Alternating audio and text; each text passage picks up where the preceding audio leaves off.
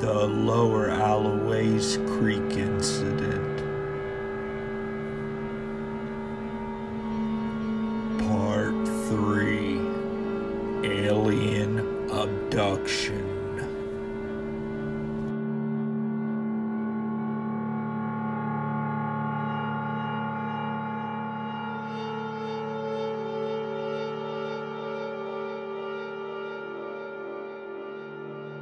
Hi, this is Robert Earl White, and this is the Lower Alloways Creek Incident, Part 3 Alien Abduction. In 1991, after a UFO crashed behind my house and my mother was hypnotized, it brought to light a phenomenon that had been happening to her since she was a child.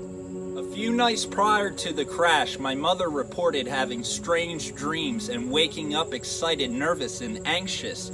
She also reported she remembers walking out to a half-wooded area where she encountered three to four giant hamster cages with red and orange twist ties going around the bars. She said that she saw mongooses walking erect and also walking within unison. She also said that she saw two large snakes and she felt like she was protecting the snakes from the mongooses. I was an only child, and my mother and I were extremely close. And throughout the years, and once I got older, she confided in me things that she wouldn't share with anyone else because I always believed in her. Now, in my mother's dreams, she says she saw giant hamster cages with bright red and orange twist ties, which twist ties are very flat. And red and orange in the DNA chart represents the T strand and the C strand, which together formulates part of our DNA structure. Also, red and orange is represented by the Leyden and gonads, which are reproductive glands, which is valuable to the hybrid program. The hypnosis uncovered memories that had been suppressed for years. My mother recalled in the middle of the night being drug out of her room through the walls and witnessing very bright lights all around her and coming to on a bed surrounded by multiple extraterrestrial species. With each species, she had a different experience with. For example, some that she called the blues, they were very friends with a bluish light tinge coming off of them. They helped her, they spoke to her telepathically, and always explained to her the procedures they were doing with her.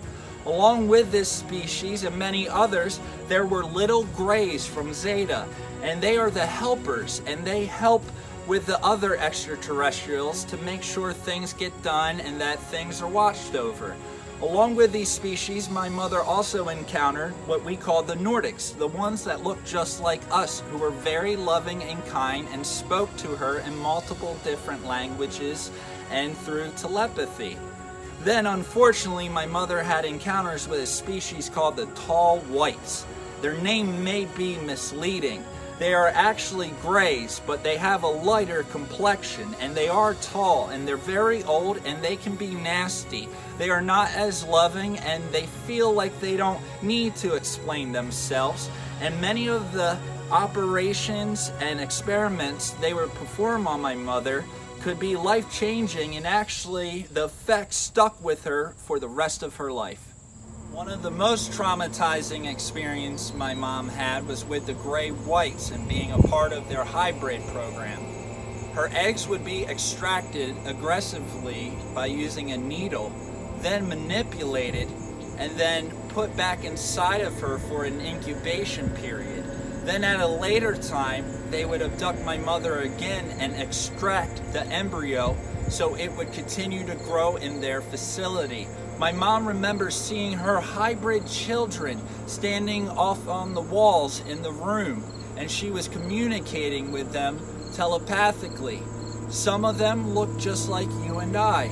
Others looked very deformed, and some were the perfect mix of gray alien and human put together. My mom would always ask the ETs, Can I please have one, and can one live with me? And they replied, It will not survive on Earth. The repercussions of my mother being a part of the breeding program meant irregular menstrual cycles to the point of constantly bleeding. My mother even had her tubes tied, and still She miscarried five times and continued bleeding constantly. My mother started drinking alcohol because she claimed that when she had alcohol in her bloodstream, it caused these beings not to be able to do their experiments with her. So, unfortunately, this led to a lifetime of drinking. And with not having anyone to talk to, this ultimately led to her death, March 9th, 2020. There are thousands of people in this country that are going through this phenomenon. And I want to encourage you, if you have an experience, please contact us at the Order of Light, where we can try to help you and put you in contact with someone else that has shared your experience. Because of what my mother went through, my goal is to make sure no one on this planet has to ever go through what we went through. I believe everyone has an important story and should be able to share it, especially if it's a traumatizing event. In some cases, these are compared to rapes, yet people can't talk about it for fear of ridicule and rejection and laughter and being called crazy. This is happening. And we are not asking for disclosure. We are demanding it. We are not going to wait for it to happen. We are making it happen. Disclosure is now. So please contact us. Thank you so much.